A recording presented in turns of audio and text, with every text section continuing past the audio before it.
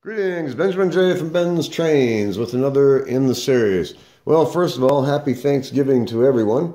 And I uh, just wanted to do a quick video on an Aerocar follow-up.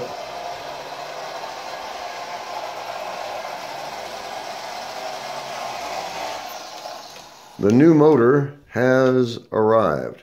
So let me move this camera back a bit. I'll show you what we have here. This arrived yesterday.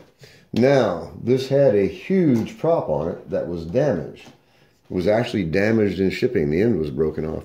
So I contacted the guy and he told me to keep it and refunded my money. So anyway, this was free. So I just wanted to do a quick video of this motor with its prop. So I'm going to use a magnetic lock-on to power this and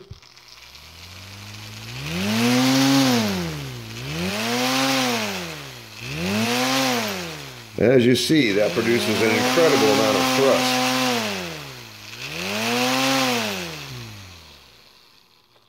Anyway, I just wanted to do a quick video on it. I'm going to be uh, building a new rail car, of course. This one has a nice spinner on it. Good, solid, heavy blade.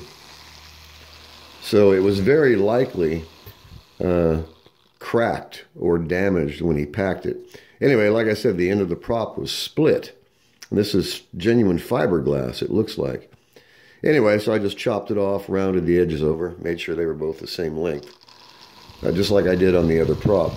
And it works, so there's nothing wrong with it. And like I said, it produces a tremendous amount of thrust. And if you reverse the polarity, this thing makes an excellent tractor. I mean, it really does. This thing just wants to go. So anyway, just a quick uh, follow-up on the new motor. So I'll be building a new uh, Aerocar.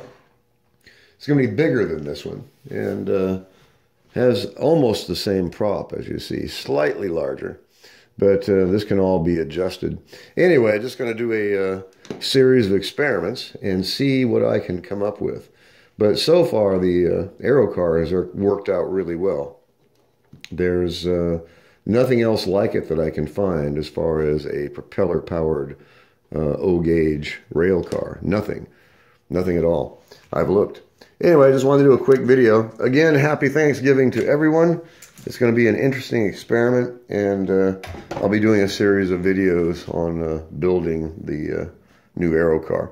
So just a quick video. As always, if you have any questions, feel free to drop me an email. benztrainz at gmail.com. And as always, Thank you for watching.